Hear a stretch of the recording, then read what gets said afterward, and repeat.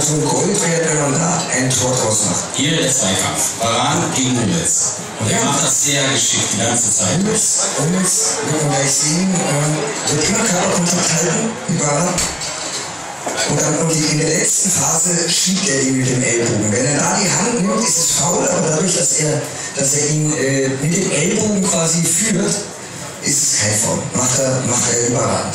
Also er schubst nicht, sondern er schiebt und macht es so geschickt, dass der Schiedsrichter Und das als Zweikampf Genau, und wertet. dann natürlich noch den Kopfball früh bekommen, ungefähr wissen, wo das Tor steht und ihn so verlängern, dass er unhalb ist. Toll. Schon das vierte Tor des Standards bei dieser Weltmeisterschaft für die deutsche Mannschaft. Jetzt schon doppelt so viel Standardtore im Vergleich zur WM 2010. Und der Bundestrainer hat immer gesagt, für Standards habe ich leider keine Zeit, wir haben so viele andere Dinge, aber es Er hat sie raus. gesagt. Er hat hat sie sich diese. Und dieses Tor können Sie in 18